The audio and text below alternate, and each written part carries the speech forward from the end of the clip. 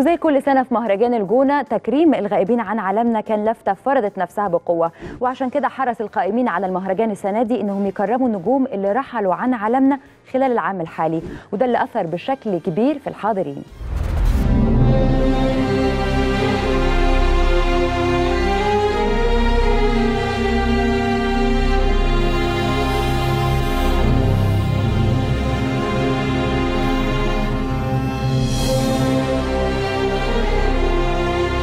عشرين واحد وعشرين كانت سنة صعبة على كل فنان أو محب للفن وده بعد ما فقدنا رموز أثرت فينا وسابت علامات فنية خالدة مش ممكن أبدا تتنسي.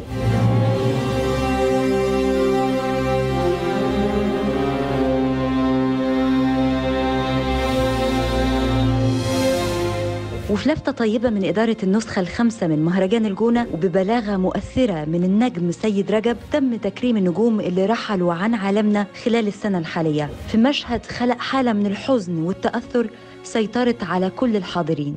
اللي عاشوا معانا قدام أو ورا الكاميرا هيفضلوا عايشين معانا في فنهم. يا بختهم اللي عمل فن عمره ما بيموت. وتوتة توتة لسه مكملة الحدوتة. كان على رأس المكرمين سمير غانم ودلال عبد العزيز اللي رحلوا بعد صراع مع كورونا وتسبب رحلهم المفاجئ في صدمة كبيرة للجمهور في مصر والوطن العربي. وعرض المهرجان مشاهد من أهم الأعمال اللي قدموها خلال مشوارهم الطويل. إيه سر جمالك؟ أنا أموت في الحاجة الطبيعية الشعبية. ما شاء الله عندك لون البشرة طبيعي قوي. بتدهني إيه؟ نيفيا لا.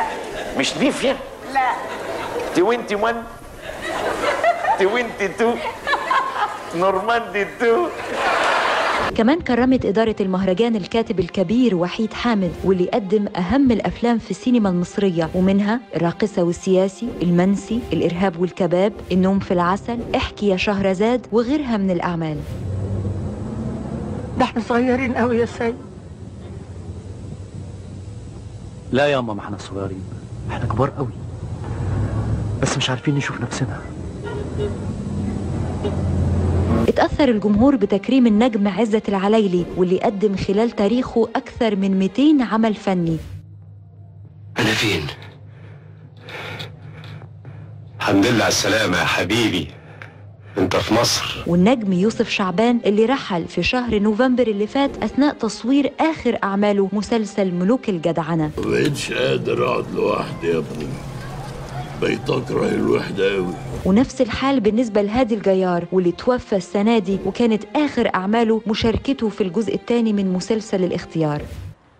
ما دام جبت كتب جديدة بيع شوية من القديم؟ أبيع إيه يا جاهل أنت؟ أبيع إيه؟